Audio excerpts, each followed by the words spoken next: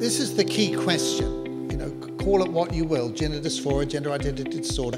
What actually is it? Is it just a normal variant, as we're being told today? And we're being told we're transphobic if we don't believe that. Or is it actually something quite different?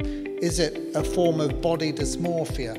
Why are we seeing this dramatic increase in uh, these cases. And I think there are a number of reasons for that. One of them is cultural change, the new normal, a different way of thinking. The new normal is all about the destabilizing of our point of reference, the fact that now things that we can see, we can look at. I mean, we can look at a lot of these changes and say, okay, it's not normal to be teaching children as young as five years old radical things about sex, you know, uh, but somehow that became the new normal. I'm going to talk a bit about the origins of how it became the new normal.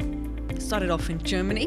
This chap, Karl Ulrichs, was a, a gay man, actually, and he described himself a female soul trapped in a male body. He was the first ever person to talk like that. And now, of course, it's quite normal, not the word soul, but you know, a man trapped in a woman's body, woman trapped in a man's body. He invented that idea.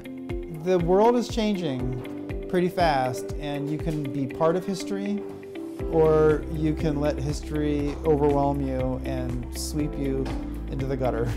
and so get up and do something. Learn the issues, educate yourself, figure out who the players are, and find your voice.